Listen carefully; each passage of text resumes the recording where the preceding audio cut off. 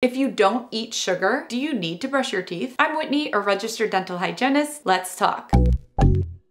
Diet has a major role to play on whether you are cavity prone. And because of that, lots of people on social media are assuming if you don't eat sugar, then you don't need to brush your teeth. But did you know that sugar is also found in fruits and carbohydrates like bread, crackers, chips? Sugar is not just found in candy. It's not just found in desserts. Any kind of starchy food like pasta, pretzels, any kind of carbs, they actually break down into sugar while they're still being chewed in your mouth. Carbs are sneaky sugars. So don't think that just because you don't eat candy you always skip dessert that you are safe from getting cavities. Without brushing your teeth, even so-called healthy foods can quickly lead to cavities. And if you're really only eating meat, maybe you're on some type of carnivore diet, sure, your risk of cavities decreases, but meat can still get stuck between your teeth into your gum line and it's still food debris. So you still need to brush and floss that protein off your teeth. Also, are you taking into account any butter you may have used when cooking your meat, the seasonings, if there's any breading, or maybe you're not using breadcrumbs, but might be using similar substances to flour or wheat when cooking your protein. Something to think about. If you only eat meat, you don't need to brush your teeth is incorrect. There is no diet that can completely guarantee you won't get cavities. Of course, like we said, certain dietary choices can significantly reduce the risk. I'll link my videos on best foods for teeth and worst foods for teeth if you'd like to learn more. But for the purpose of this video, even if you consume only protein-rich foods, skipping brushing is not advisable advisable. And here's why. Number one, plaque formation. Plaque is a sticky film of bacteria that is always forming on your teeth regardless of the types of foods you eat. This plaque bacteria in your mouth feed on food particles including proteins and then they produce acids that can lead to tooth decay. And we didn't even talk about this yet, gum disease. Sure, maybe you're low risk for cavities being on a carnivorous diet, but plaque on teeth, don't sleep. You can still get gum disease from not brushing, which brings us to number two, gum disease. Bacteria bacteria in your mouth will munch on whatever they can, whether it's proteins or carbs or sugars. And after they munch, they excrete acids and without regular brushing and flossing, plaque will accumulate along the gum line, leading to gum inflammation, gingivitis, and potentially more severe disease, periodontitis. Number three, bad breath. Like we said, protein-rich foods can still contribute to bacterial growth in the mouth. And these bacteria can produce harmful acids that contribute to bad breath. Obviously, if you don't brush your teeth, you're at a much higher risk risk for bad breath because food and gunk is stuck on your teeth. And number four, saliva production. Some people argue that they don't need to brush because their saliva will do it for them. Now, while some foods can stimulate saliva production, which helps clean the mouth, this is not a substitute for brushing. Saliva alone cannot remove all food particles and plaque. You need to manually remove them with a toothbrush and floss between the teeth. In conclusion, protein is good. A diet in high protein can support dental health, but it cannot replace the essential practice of brushing your teeth. I know people are gonna fight me on this, so if you don't wanna brush your teeth, I can't change your mind, but I can tell you that dental work is very expensive. And if you end up getting cavities and gum disease, it will not only cost you thousands of dollars to fix, but it can also lead to tooth loss if left untreated for too long. Something I would never wish upon anyone. So even if you only eat protein, be sure to still brush twice each day, once in the morning and once at night. Floss and or clean between your teeth at least once each day, and visit your dental office regularly for routine cleanings and exams. I hope this video helped you. Please like, subscribe, and turn on your notifications if it did. And thank you to the YouTube members here and the Patreon members supporting this channel and supporting dental health awareness. If you want to join the fight in making sure evidence-based dental health information is being shared online, become part of our Teeth Talk community. The links to join are in the description box below. And until then, I'll see you on Instagram at Teeth Talk Girl. Peace, love, and teeth.